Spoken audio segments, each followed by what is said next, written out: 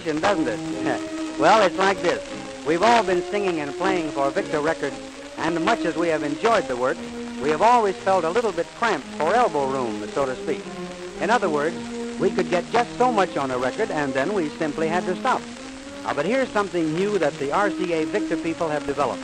A long-playing record that can hold an entire vaudeville act or even a symphony, plus a wonderful new instrument to play it on. And now, boys, now what do we give the folks first? Let's hear the gay caballero, Frank. How about the golf song, Frank? Donald the Dub. Well, just coax me a little, and I might sing both of them. I am the gay caballero, coming from Rio de Janeiro, with nice oily hair and full of hot air. I am a bull-throwing hero. I'm seeking a fair senorita, not thin and yet not too much meat. I'll woo her a while in my Argentine style. I'll carry her off of a.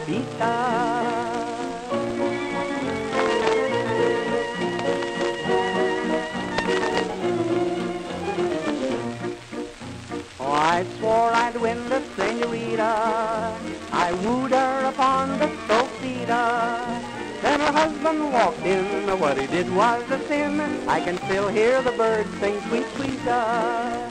Now I am a sad caballero, returning to Rio Janeiro. Minus my hair, a bruise here and there, for a husband he'd shoot off my hero. to the tale of a stalwart male who lost his well-known nanny. Donald was his name, and golf was the game that made him gray as his granny.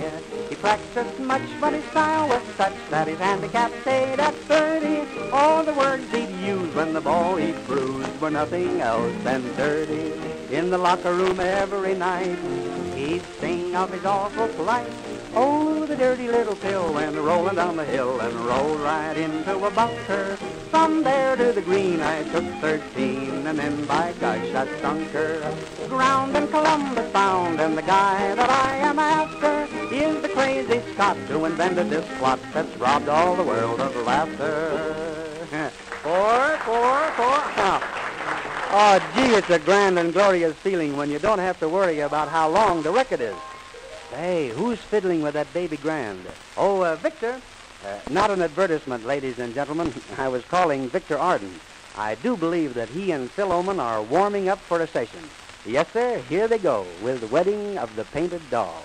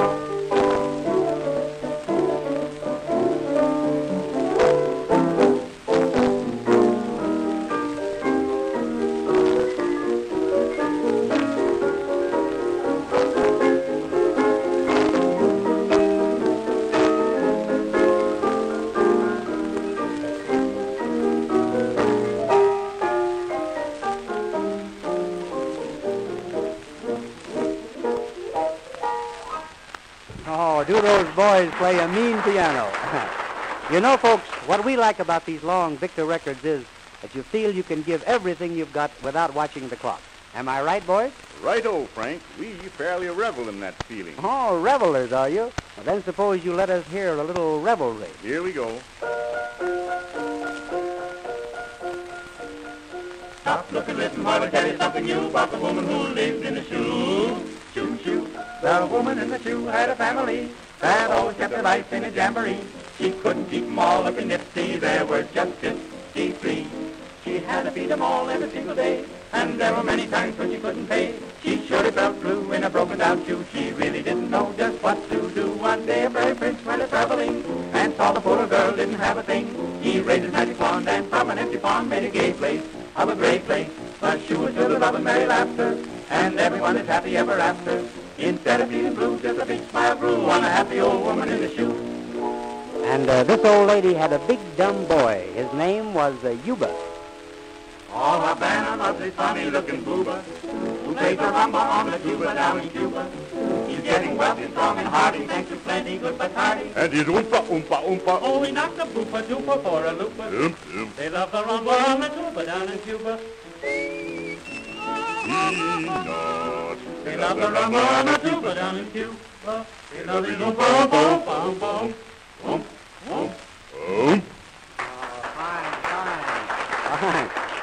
There's lots of time yet, folks. Just keep your seats and we will listen to Nat Shilkret strike up the band for a while. Uh, what do you say, Nat?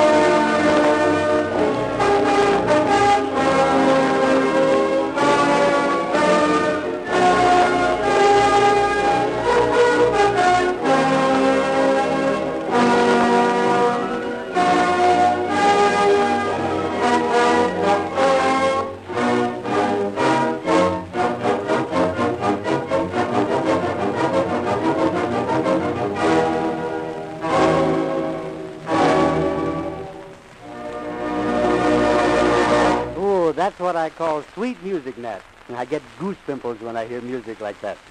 I've always felt that nothing in the world could equal the musical quality of Victor records, and now with the effortless convenience of the long record and the splendid new instrument that plays it, you have a combination that is unbeatable for real enjoyment. Am I right? Right. Now turn the record over and we'll give you another surprise.